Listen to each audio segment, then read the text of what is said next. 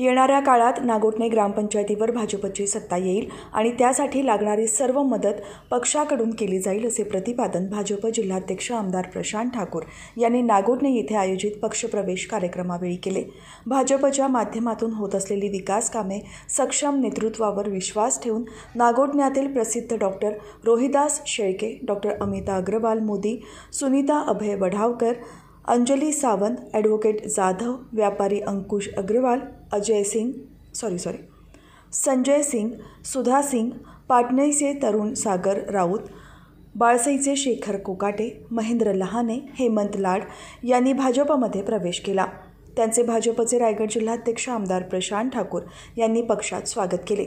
नागोठण्यातील भाजप कार्यालयात झालेल्या या कार्यक्रमाला जिल्हा संघटन सरचिटणीस अविनाश कोळी मिलिंद पाटील उपाध्यक्ष राजेश मपारा श्रेया कुंटे रोहा तालुकाध्यक्ष सोपान जांभेकर सरचिटणीस आनंद लाड महेश ठाकूर निमेश वाघमारे नागोठणे शहराध्यक्ष सचिन मोदी शीतल नांगरे गौतम जैन यांच्यासह पदाधिकारी आणि कार्यकर्ते उपस्थित होते.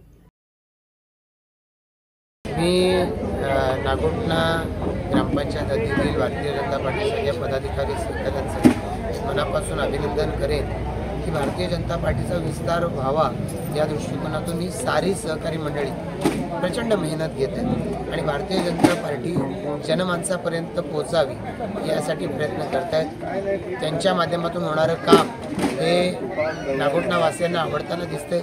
त्यामुळे इथे जेव्हा केव्हा आलो आहे पक्षप्रवेशांची मालिका सुरू आहे. या सर्व कार्यकर्त्यांच्या माध्यमातून येणाऱ्या कालावधीमध्ये नागोठणा ग्रामपंचायतीला एक नवं विकासाचं रूप पाहायला मिळेल आणि नागोठणा ग्रामपंचायतीची विकासाच्या दृष्टिकोनातून माननीय पंतप्रधान म्हणतात त्याप्रमाणे विकासाची आगेकूच होईल.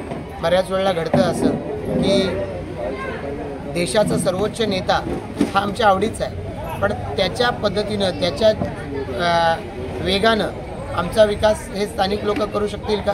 या संदर्भामध्ये लोकांच्या मनामध्ये विश्वास कधी कधी नसतो. पण मला अलीकडच्या काळामध्ये दिसायला लागले की इतर पक्ष सोडून लोक आज भारतीय जनता पार्टीकडे आकर्षित होत आहेत. सर्वसामान्य लोकांचा कल आहेच पण समाजाच्या वेगवेगळ्या वर्गात काम करणारी लोक जेव्हा भाजपच्या दिशेने येतात तेव्हा त्याची ती एका पुढच्या येणाऱ्या चांगल्या वर्तमानाची चांगल्या भविष्याची नांदी असते.